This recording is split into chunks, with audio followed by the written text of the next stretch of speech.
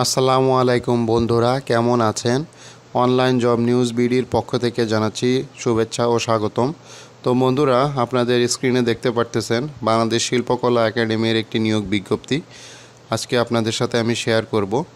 তো চলুন দেখি তারা বিস্তারিত কি কি বলেছে এবং কি কি যোগ্যতা, পদের নাম, পদের সংখ্যা, বয়স এবং কোন কোন জেলার প্রার্থীগণ আবেদন করতে পারবেন, সে সে সম্পর্কে বিস্তারিত আলোচনা করব। তো যারা এখনও আমার চ্যানেলে নতুন আছেন, অবশ্যই চ্যানেলটি সাবস্ক্রাইব করবেন এবং ভিডিওতে লাইক করবেন। কোনো প্রশ্ন থাকলে কমেন্ট করবেন। তো বন্ধুরা, দেখতে পারতেছেন যে পদের নাম, সহকারী পরিচালক, সংগীত, প্রোগ্রাম প্রোডাকশন, সংগীত। তো নবম গ্রেড, বাইশ হাজার টাকা থেকে শুরু, একটি পদ আছে, বয়স সর্বোচ্চ তিরিশ বছর। শিক্ষাগত যোগ্যতা তারা চেয়েছে সংগীত বিষয়ে স্নাতকোত্তর ডিগ্রি সহ সংগীত বিষয়ক কর্মকাণ্ডে সংক্রান্ত কর্মকর্তা হিসেবে সাত বছরের চাকরির অভিজ্ঞতা তারা চেয়েছে। তো এক্ষেত্রে সকল জেলার প্রার্থীগণ আবেদন করতে পারবে। সহকারী সচিব, নবম গ্রেড, বাইশ হাজার টাকা থেকে শুরু একটি পদ আছে, বয়স সর্বোচ্চ তিরিশ বছর। স্নাতকোত্তর ডিগ্রি থাকতে হবে এবং সাত বছরের প্রশাসনিক কাজের অভিজ্ঞতা তারা চেয়েছে। এক্ষেত্রেও সকল জেলার প্রার্থীগণ আবেদন করতে পারবে। সহকারী পরিচালক পিএস বাইশ হাজার টাকা থেকে শুরু একটি পদ আছে। বয়স সর্বোচ্চ তিরিশ বছর। স্নাতকোত্তর ডিগ্রি থাকতে হবে ও সেক্রেটারিয়াল কোর্স সহ সাত বছরের অভিজ্ঞতা তারা চেয়েছে। যন্ত্রশিল্পী গ্রেড তিন, বাইশ হাজার টাকা থেকে শুরু নবম গ্রেড। তিনটি পদ আছে। বয়স সর্বোচ্চ সাতাশ বছর। মাধ্যমিক স্কুল সার্টিফিকেট পাস, অর্থাৎ এসএসসি পাস হলেই আপনি তিপ্পান্ন হাজার ষাট টাকা নবম গ্রেডের চাকরি করার সুযোগ পাবেন। তো এক্ষেত্রে আপনার সাংস্কৃতিক একাডেমি হতে চার বছরের প্রশিক্ষণ ও তিন বছরের স্টেজ পারফরম্যান্সের অভিজ্ঞতা থাকলেই আপনি আবেদন করতে পারবেন। তো যারা এই ধরনের স্টেজ পারফরমেন্স করেন, তাদের জন্য একটি সুবর্ণ সুযোগ। তো এক্ষেত্রেও সকল জেলার প্রার্থীগণ আবেদন করতে পারবে। নৃত্যশিল্পী এখানেও মাধ্যমিক স্কুল সার্টিফিকেট, অর্থাৎ এসএসসি পাশ করলে আপনি আবেদন করতে পারতেছেন এবং আপনার বয়স হতে হবে একুশ বছর। এবং বন্ধুরা লক্ষ্য করুন দুইটি পদ আছে এবং বেতন স্কেল নবম গ্রেডে আপনি বেতন পাচ্ছেন এবং সম্পূর্ণ সরকারি চাকুরি বাইশ হাজার টাকা থেকে শুরু।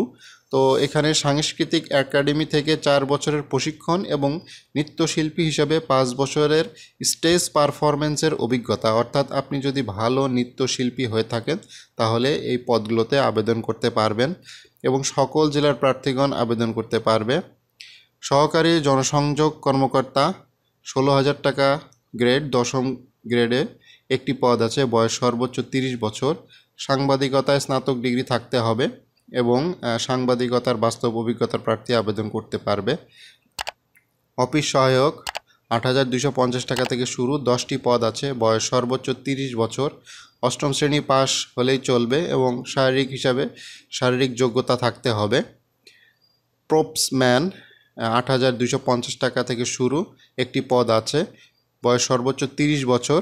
অষ্টম শ্রেণি পাশ হলে আপনি আবেদন করতে পারবেন।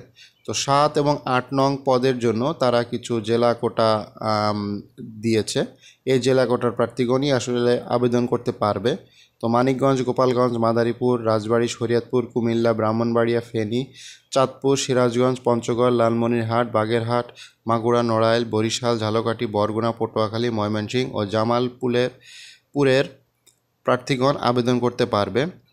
তো এই নিয়োগ বিজ্ঞপ্তিটা আপনাদের আবেদন ফর্ম পূরণ করতে হবে সম্পূর্ণ অনলাইনে।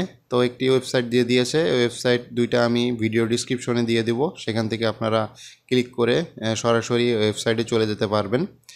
তো এখানে বয়সের ক্ষেত্রে পঁচিশ তিন দুই তারিখে প্রার্থীর বয়স হতে হবে তিরিশ বছর। তো এই জিনিসটা অবশ্যই খেয়াল রাখবেন এবং অনলাইনে আবেদনের যে ফর্ম পূরণ শুরুর তারিখ হচ্ছে চব্বিশ দশ দুই হাজার বাইশ এবং শেষ তারিখ হচ্ছে তেরো এগারো দুই হাজার বাইশ। তো অনলাইনে আবেদন করতে হবে এবং আপনার অনলাইনে যে রঙিন ছবি আপলোড করতে হবে সেটা তিনশো ইন্টু তিনশো পিক্সেলের এবং স্বাক্ষর যেটা আপলোড করবেন সেটা হবে তিনশো ইন্টু আশি পিক্সেলের এবং সর্বোচ্চ সাইজ ছবির ক্ষেত্রে একশো কেবি, স্বাক্ষরের ক্ষেত্রে ষাট কেবি যে ওটার সাইজ হবে। তো টেলিটক প্রিপেড সিমের মাধ্যমে আপনাদেরকে আসলে টাকাটা পরিশোধ করতে হবে। তো এখানে টাকার অঙ্ক বলে দিয়েছে যে এক থেকে পাঁচ নং পদের জন্য ছয়শো টাকা এবং এটা টেলিটক সার্ভিস চার্জ আছে সাতষট্টি টাকা। সর্বমোট ছয়শো সাতষট্টি টাকা খরচ হবে।